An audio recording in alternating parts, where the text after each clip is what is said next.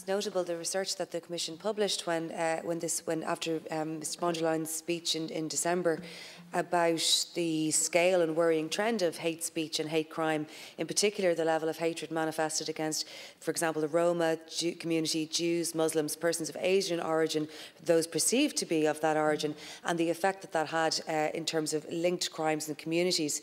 It's um, at EU level, like there has always been a strong statement against incite public incitement to hatred and hate speech, and that comes from, I think, a very difficult background in Europe about identifying, you know, partic particularly with post-World War II efforts to try to solidify peace, to try to stand against hate speech uh, as it then was and as it has evolved.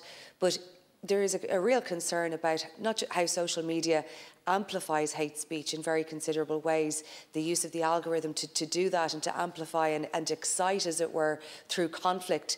Um, and it's it's it's something that that's negative in itself. It's negative for its for the users. It's negative for society generally. But it has a huge democratic impact. And if you leave aside, as you know, the important contributions that have been made about social media abuse of politicians, that's fine. But um, it goes beyond that. It speaks to the, the standards in democracy. It speaks to what the information that people are getting.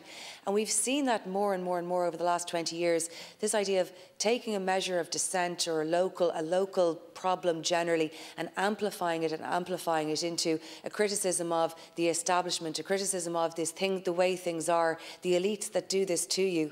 And we've seen how that's been weaponised, not just politically, but it's been weaponised by by, by states and, and other entities that would like to see the value of democracy, and particularly Western democracy and European democracy, to see that eroded over time.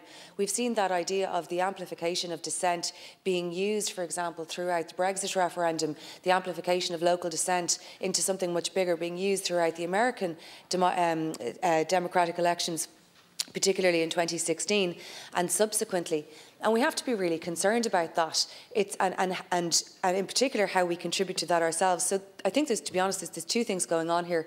There's one, um, how we treat each other on social media, how we treat each other generally, and the important work that the Minister is doing in bringing in hate crime legislation, which will have big effect, I think, on gender-based violence, which will have big effect, and particularly for people with disabilities, uh, and where, the, where it is an aggravating factor in offences committed against people particularly with disabilities of concern.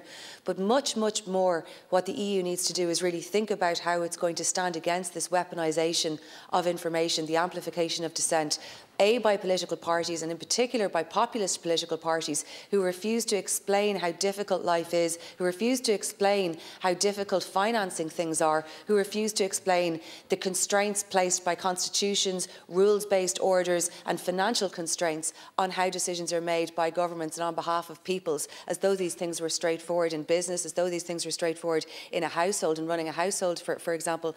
So it's important. For, for, so it's important from that level in managing and controlling populism populism and expectations about what can be delivered for citizens.